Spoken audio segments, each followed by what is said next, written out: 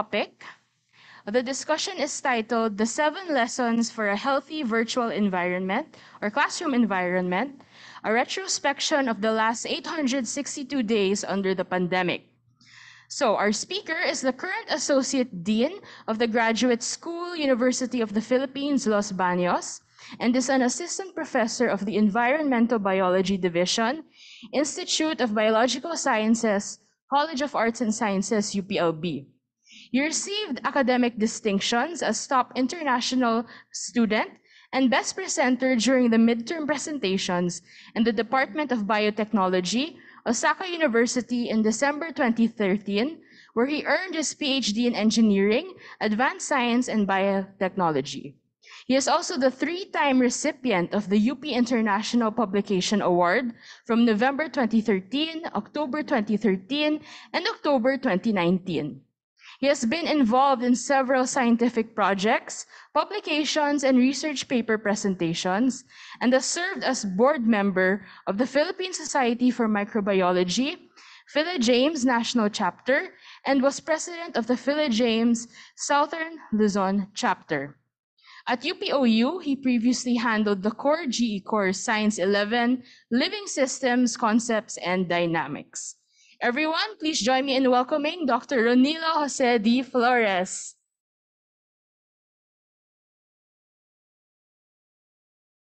Thank you very much, for that very generous introduction. I did not know that my picture is going to be flashed on screen, but um, do I look happy here? I am very happy to be with you today, um, especially when I saw each and every one of you. I'm I felt like I'm I'm, I'm in the presence of uh, luminaries and my idols in the academe professor emeritus Macrina T. She was my first boss in my very first research engagement with the university. We went to I I'm I'm sure she remembers we went to a lot of different islands for our red algae project and that is when I first learned about the ropes of conducting research uh, in a government institution with all of the procurement uh, processes. Thank you, ma'am, for all of the things that I've learned under your tutelage. Maraming salamat, and I'm very honored that you'll be the discussant of this presentation. And I'm frankly, I'm quite nervous about it. But again, thank you very much for the invitation. Um, Dr. Laurel mentioned a lot of things that are very true and I think we can reflect on and we have experience in fact uh, as teachers under the this pandemic. Uh, one thing that is very interesting with my experience with UPOU is that when the pandemic hit and I was invited to be part of to, to, to teach um, Science 11, um, we were under a pandemic and it was actually my first time handling a course in in UPOU. It was also my first time to see and experience for myself Moodle. At first, it was really, really um, challenging. And just like Dr. Laurel, I, I'm a frequent consult, uh, I'm a frequent client of uh, Krista at the AA program. So, um, and during the time when I was teaching Science 11, um, I was in the longest quarantine ever because uh, our family got exposed to to COVID and my brother had long COVID and during that time um, the protocols or the the DOH protocols were not um, were very strict. So as long as you tested positive, you cannot go out and you know reintroduce yourself to the world. So we ended up quarantining for about a month or five weeks. We waited until my brother had a negative test result and because he had long covid so he was he kept on getting positive results so we were under a quarantine when i was teaching science 11 so uh, the pressure was uh, both on my students and myself and the uh, the um, the faculty what you call that the fics the tutors right um my experience with science, science 11 was very unique. It was the largest ever class that I have ever experienced in my short in my entire time as a teacher, which is 13 years, 357 students uh, to be exact. Um, and two of them are here. sila. Sh- ikaw, di ba? And the, dalawa sila. So two of them are my student. And okay, so because you're here, I will not be presenting Science 11. Um, um, in as soon as Dr. Buo told me about this so, and the, the topic, I was on my way to Capones Island.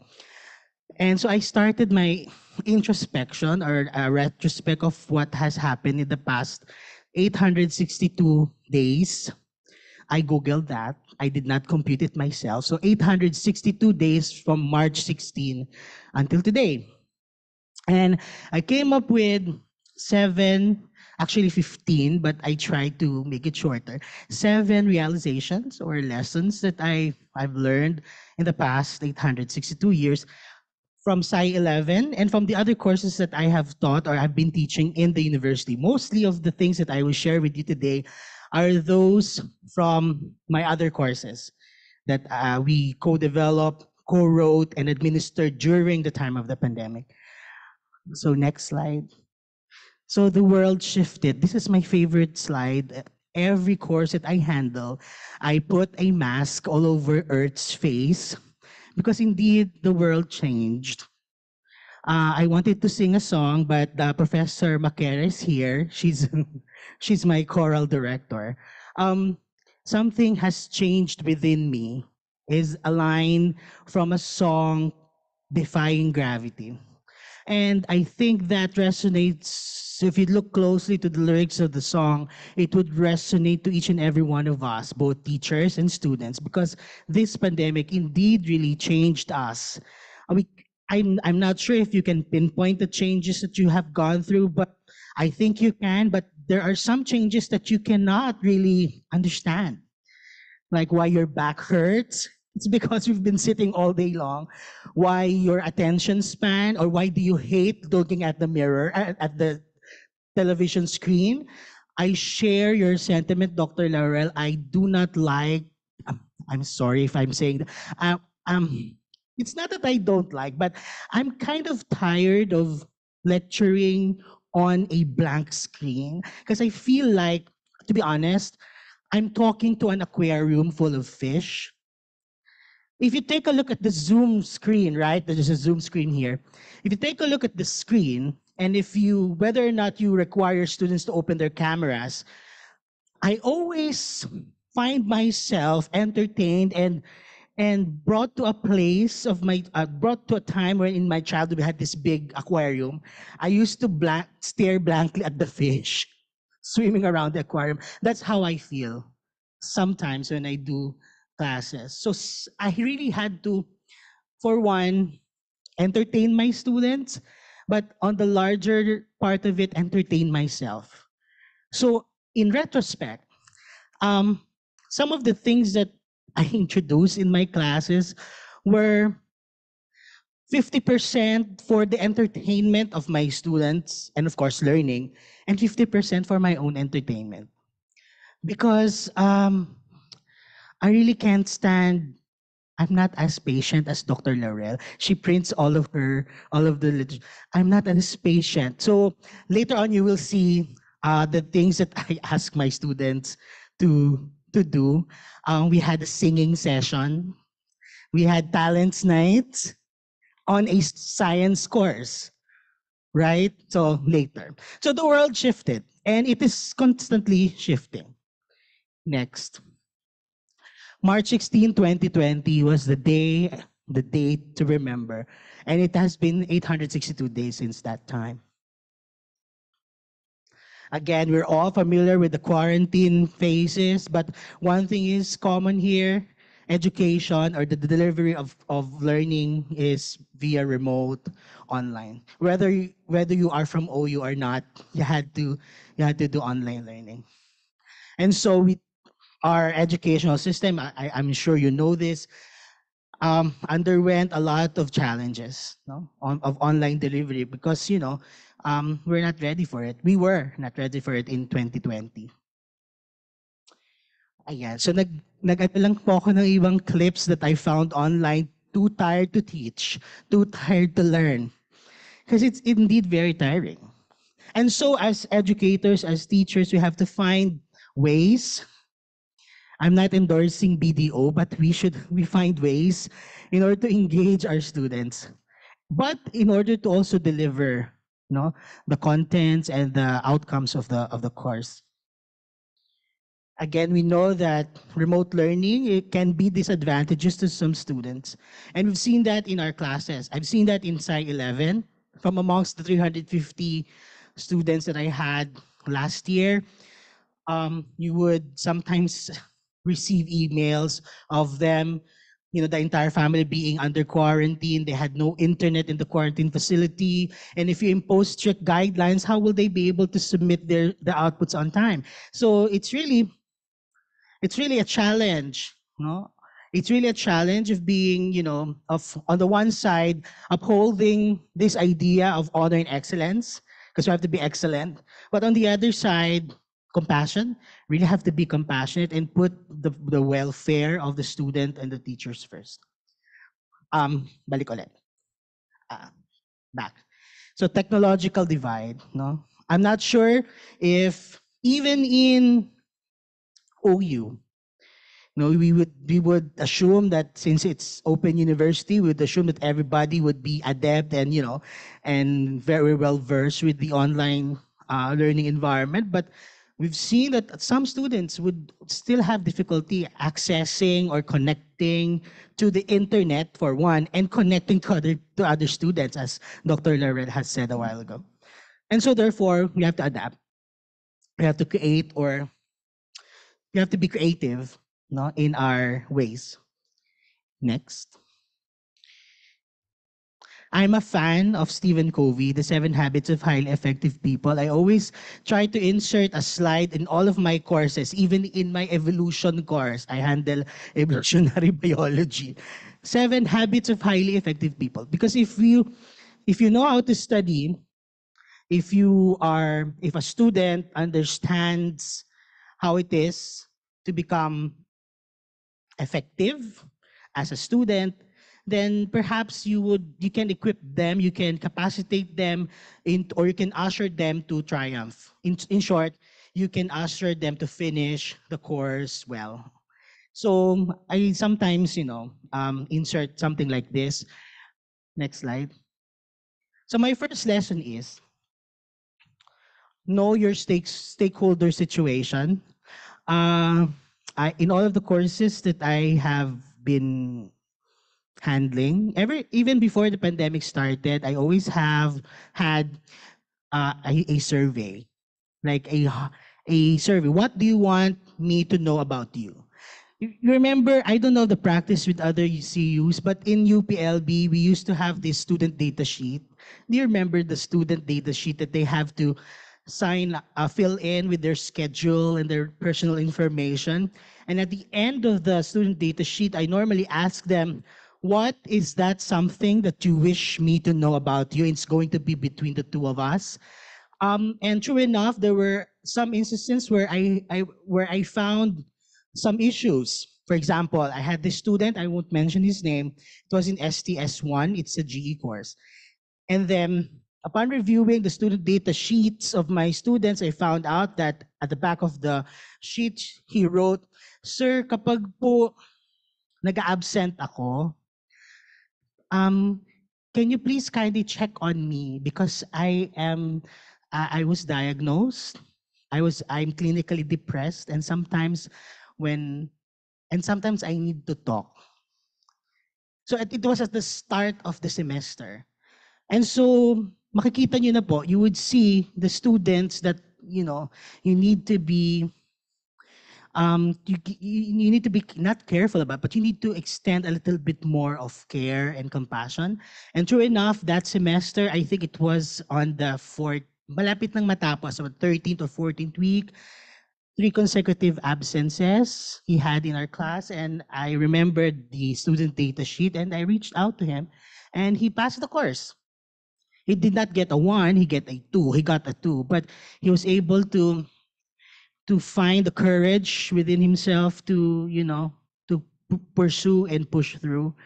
And now he's already graduated. And one funny thing is during his graduation, virtual graduation, right after his name was called, he messaged me in my email. Email pa eh, hindi talaga personal. Email thanking me because I reached out to him that time. So I guess that's one lesson that I really um, try to keep in me kasi, you know, sometimes it just takes a little bit of surveying and attention. Ayun, know your stakeholder situation. Well, it's not, probably some of you don't know, I, I also coach a varsity team of UPLB, the UPLB men's, this one. So that's me 30 pounds ago. Uh, so, and this is my team. They're the nicest, the most gorgeous team. And so, bef- right, right before the pandemic, um, we were on our way to building or preparing for a competition. That's our major competition. Um, and so we were, you know, working out and um, trying to achieve the level of fitness that a varsity, well, an, a varsity team would have be coming into a competition. And so the pandemic hit, and you can just imagine the stress of these players. You cannot go out. You cannot play. They don't have equipment at home. They are they are they were in the prime of their physical fitness. And then online learning. Right? So what could go wrong more? And so as part of uh, an intervention, so we did I actually presented this in an, a conference, remember? We were together. Um, we tried to follow their habits, their perception of stress, their physical activity. Next. So they were really stressed, as you would see. So we across the the uh, the different uh, GCQ classification from the strictest to the less strict, how they adapted. Sometimes uh, some of them even created um, exercises based of um, household chores just to be able to exercise. So, pag tinanong mo, anong mga activities nyo just to be able to move? Nagbubunot po kami, pero may floor polisher naman. so, those kinds of things. So, majority felt that their level of physical fitness has not improved. For a varsity player, this is a big deal because their daily life in the university was just to study daytime and then devote two or three hours at night for workout and then study. And then you just then you suddenly remove the workout time. Well, that's a big, big blow, I guess, uh, because that's that's how they find their time to to relax. I think. Next, of course, we also followed their nutrition habits. So one of my assistant coaches is a nutritionist. So um, they started eating unhealthy food because they were stuck at home. And they started to gain weight no? But they were not overweight. Um i think it was a small proportion of them that got overweight over the pandemic. So yeah we did a lot of advising and uh, we actually opened a virtual training portal that's one of the adaptations that we did. So the things that we can do, the things, the exercises that they can do at home, we posted all of these in the in the virtual classroom. So and. And we also did a lot of pep talks. We organized pep talks, mindfulness, uh, uh, nutrition, quarant fitness. Okay, nutrition education was also there. We did a, I think it was a bi-monthly kumustahan. Kasama na dito yung mga yung yung uh, nutrition uh, education. Next. Again, stress is a major factor in their life as a student athlete. So next, next, next, next. So Rotas and Cahapay in 2020 also released a paper that outlined the different effects of the online learning setup to the different to different students. And internet learning resources, overloading, pure poor or lack of communications, and of course, mental health struggles were were part of the list of the effects or the ill effects of the pandemic. That is also consistent with what Dr. Laurel was mentioning a, a while ago. Next. Number two lesson. So support and compassion are key. Um, I was uh, thinking about this um, while on the while on the bus, uh, while on the van, and I I told myself I realized that um, we live in an extraordinary world now. So a lot has changed, so we really have to be kind to to ourselves and to our students. So again, um, we have to find ways in order to address or to help minimize the technological divide and the different um, issues. Next. Okay, the third one is explore new things or fields that may interest students.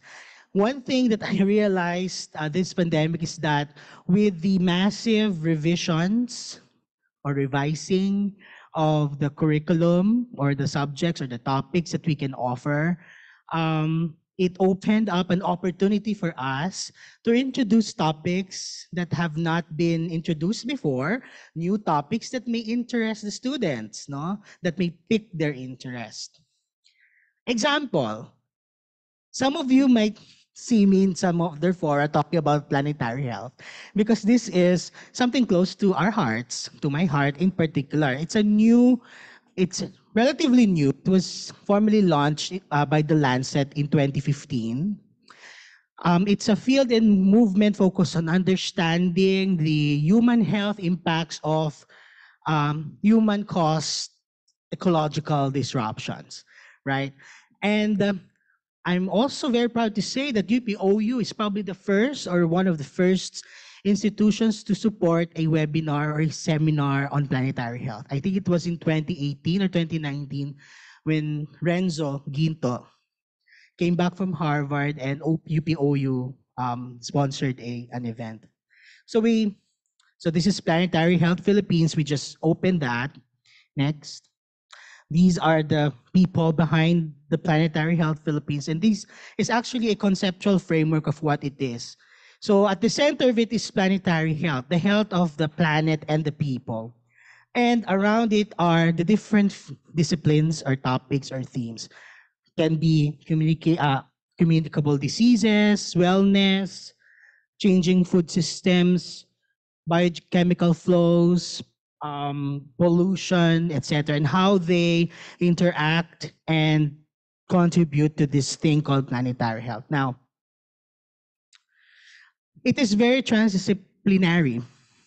And the transdisciplinarity of uh, planetary health allows variety, mixing, and collaboration. Because if you can see the different um, themes, it can range from, let's say, hardcore sciences to arts and humanities, for example.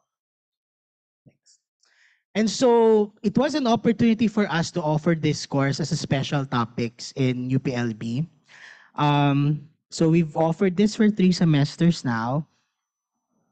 So these are the different learning coaches that are all, all from our division, professors of Paralia. You might be familiar with all of them. So we assembled a team that is composed of different uh, faculty with different expertise in, in the hopes of discussing this new field using different perspectives. So ayan lang po siya. So next, so three parts. So these are the different um, um, topics there, which is, by the way, very related to Science 11. So if you take a look at the content, it's very Science 11. It's very living systems. This is the fifth. Interact interactivity and relatability makes a difference. It's very important na merong interaction at least or may relationship. Makaka-relate sila doon sa tinuturo sa subject matter at the same time sa kanilang peers, sa kanilang kaklase. So, okay, we do we do a lot of these synchronous sessions, different topics that are related to planetary health. Ayan, next. even we, we even discuss orchids and the different colors, how they evolve. Even insects, no? Yung scale insects, infestations. And of course, citizen science, no? how they can contribute to. Okay. Number six, variety of eval- evaluation tools may break monotony. This is also something that is very that was very helpful, I guess, when I handled different courses in the university. Although sometimes departmental yung ano yung yung paggawa ng course outcomes, yung mga evaluation, but um lucky enough we were able to uh, still inject some of our own flavors into some of our courses, no? So we did a lot of forum questions as we normally do in online setup. So make forum discussion where all of them, where, where, where the FIC posts a particular question related to the topic and all of the students would, um, would um, contribute to the discussion. So forum question is one. I even asked my students, by the way, I posted this with permission. These are my advices. I even asked my students to create a vlog. Like, what can you say about the conservation status of the tarsier? So she was talking about the tarsier. It was fun because they had to, you know, edit it, they had to put pictures, and they had to be very, um, very Toastmasters, very engaging, you know? So yeah, and vlog. Some e opted for infographics or posters. Um, yan. And even paintings. Some even did planetary uh, mind mapping, no, or diagrammatic representation of all the things that they have learned. This is from one of the, the, the, the subjects. Next. Specifically, not just variety, ano, not just variety, but also artistic and personal expression. Ma'am Tess and uh, Professor Makera know me as a person who loves arts, but I'm in the sciences. So I always try my best to, in, to inject a little bit of art in everything that I do. So in some of the courses uh, that I handled, I tried to to solicit artistic outputs from the students, whether it be a performance or an artwork or a simple poster, simple poem, even. So sometimes there are there are avenues for that. And for Sci 11 in OU, I think we had, right? We had an option during the last whether you can submit a video or an infographic or a poster. So we did that also in Sci 11 in OU. Next. So this one, the, the task was to create a mind map with minimum of three colors and maximum of five. So that's as simple as that. Hindi naman kailangan na, oh, using this perspective, this theory in art. Wala namang ganon. Yung simple lang po, like three color, minimum of three colors, maximum of five colors. So para when they make their mind maps, meron silang kulay. there's color and there's a vibrancy in their output. So in STS also, we did that. We I asked them to submit digital artwork. Some of them even presented um, their compositions. And of course, they had to explain its relationship to arts and culture. Hindi lang siya just so that they could submit something of an art form, but also explain, you know, the relationship. Because module two of, of STS in UPLB dealt with science and culture. Next. So these are just some of the different um, outputs of the students. And this really is one of my favorites. This is from a student of mine in uh, STS 1, the very first semester that we offered remote learning in UP. It was in first semester of 2020, 2021. And um, this is um, this is her present. This was her presentation during the arts night of that particular course, and this really struck us. So she says in here, so this is a painting by her, and then she took a picture of it, and then she wrote, there is a method called scarification, nagsusugat. scarification, scarring a seed, weakening it, thinning its covering, cutting it open. Allows more minerals to come in, making it germinate and grow faster. And then she goes on to her second painting. After harvest season, farmers perform fallowing, F A L L O W I N G, a period where they refrain from planting on arable land for it to recover. This is because continuous work on the soil will just lead to its depletion. This came in very timely because during that time, it was, do you remember the big typhoon in 2020? There was a big typhoon in November. I forgot. Was it what was that? Yung um it flooded the entire Marikina area. I it was in 2020 November. And remember one of my students I became it was the first time that I became viral on Twitter. I posted the picture of the house of my student completely submerged underwater.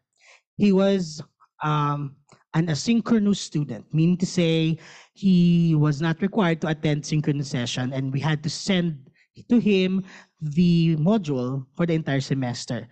But he was really one of my best students ever because daig niya yung yung synchronous kasi nung una pa siyang magpasa ng mga submissions niya.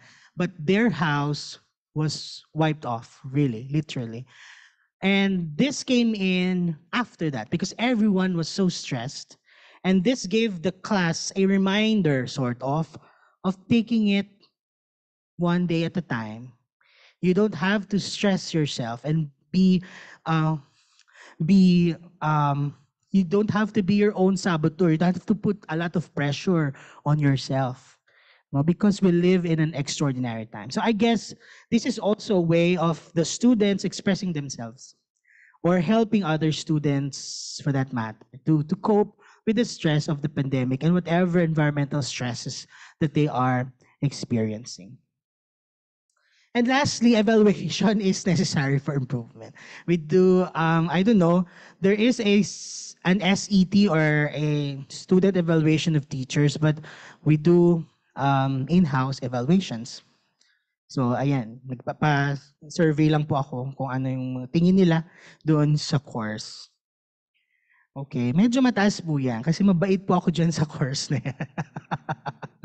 Di sa Sci 11, di ko alam. All right, so next. So overall, they were overall satisfied. What can be done to improve? What can be done to improve teaching effectiveness?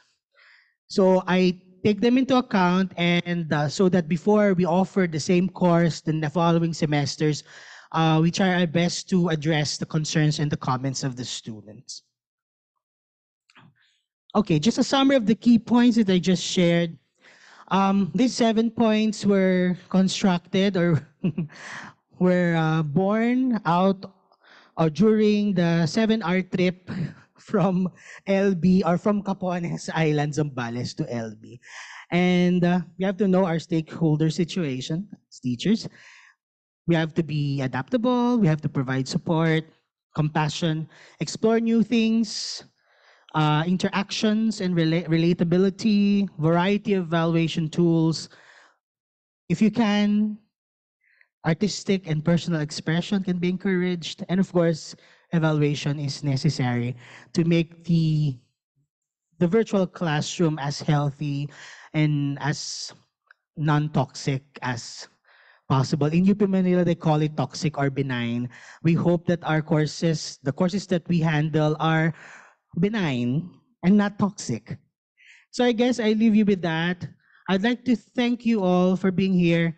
And um, I'd like to thank um, the staff and uh, Dr. Buot and all of our colleagues here at UPOU for this wonderful opportunity.